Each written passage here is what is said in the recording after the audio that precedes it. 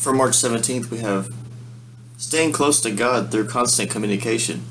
We receive a continual supply of strength to walk victoriously.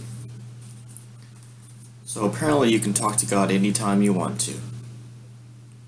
Even though in the Old Testament that wasn't the case. But I guess this is one of the many blessings that Jesus has bestowed upon us, is the ability to talk to God all the time. Because, you know, He really cares about our small, little, meaningless problems. Father, you tell us in your word that you have not spoken in secret from somewhere in the land of darkness. You have not said to Jacob's descendants, Seek me in vain. You, Lord, speak the truth. You declare what is right. Now, obviously, the reason why we say he speaks what is true is because he says in verse 19 of Isaiah 45, I have not spoken in secret in a dark place of the earth. I said not unto the seed of Jacob, Seek you me in vain.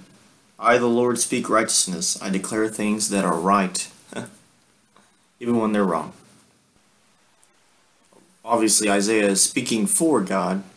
He's claiming that God would say everything that God says is correct. Your Holy Spirit, the Spirit of truth, will guide me into all truth. He will not speak on his own. He will speak only what he hears from you. John 16, 13.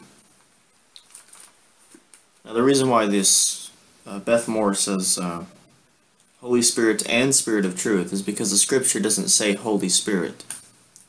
That's not a term that's in this part of the book.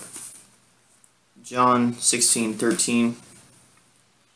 Howbeit when he, the Spirit of truth, is come, he will guide you uh, into all truth. For he shall not speak of himself, but whatsoever he shall hear, that shall he speak, and he will show you the things to come. So the Holy Spirit is a man. He's a man spirit. He. Not only that, but apparently he's not only is he one with Jesus and God, but he's also separate from Jesus and one God and God. So it's three persons in one and one in three, which of course makes total sense. And as the Holy Spirit who dwells within me searches and pinpoints areas of deception in my life, give me sound discernment to understand as he guides me into all truth. Thank you, faithful Father. I'm not sure why you couldn't just tell me, but I guess since the Holy Spirit is you, it must make sense.